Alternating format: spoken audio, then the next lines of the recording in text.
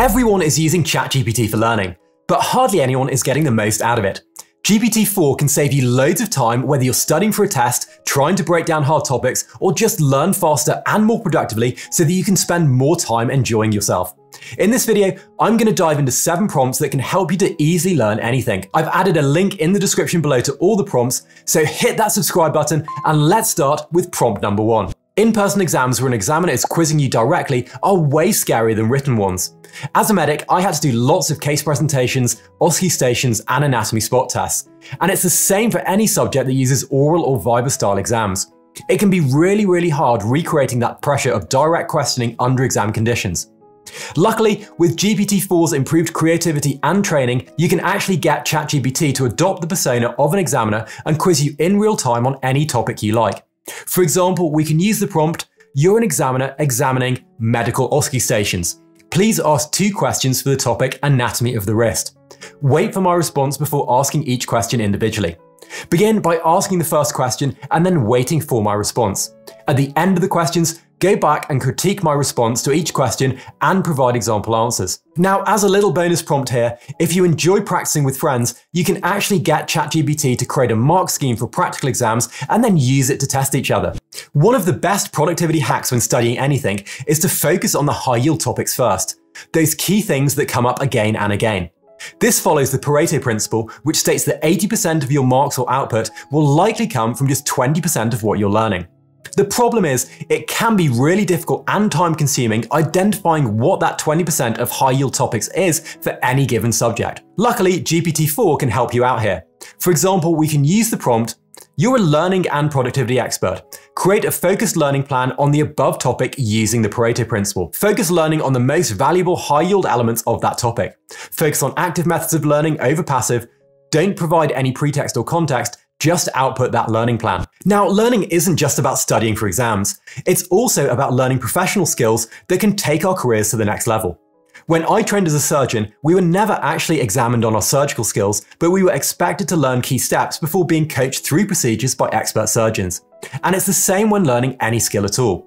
You need to learn the steps, but you also want those expert tips to help you reach mastery level. Whether you need a just-in-time refresher on a skill you're learning, or you're just starting off and want to learn each step in detail, ChatGPT has you covered. For example, we can use the prompt, you are an expert in, in this example, a surgeon specializing in orthopedic surgery.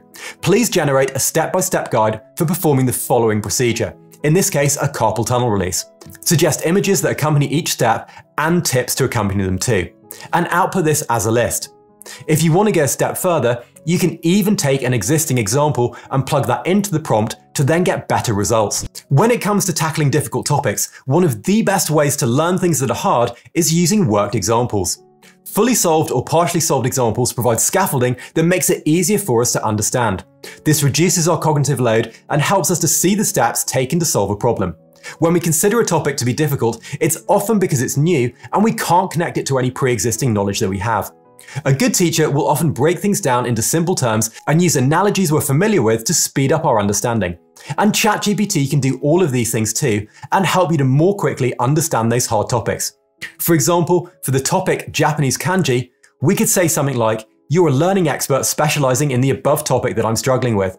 Provide me with some mental models or analogies to help me understand and remember this difficult topic. We can then break things down into tasks. Firstly, explain things in simple terms.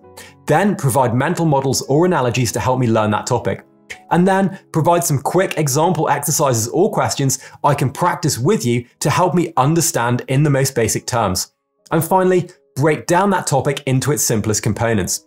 You can then get ChatGPT to work through these examples with you so that you develop a deeper level of understanding. The best way to learn a language is through practice, and one of the best ways to practice is to work through a conversation with a native speaker or practice a roleplay scenario. When practicing grammar, I tend to default to things like Duolingo or working with a language tutor to get the fastest results. Now, while both of these are great, they can be expensive, and sometimes I just want to jump into a conversation without having to set up a specific formal roleplay. ChatGPT really comes into its own here, and its translation features and GPT-4's added creativity means you can quickly set a variety of roleplay scenarios up for yourself. By using variables in our prompt, we can switch up the language and the scenario and then chat to ChatGPT in real time. The really cool thing here is ChatGPT can correct any mistakes in our native tongue to really speed up that learning process. For example, we can use the prompt, you are a language tutor. You are to conduct a roleplay in insert whatever language you're learning with me.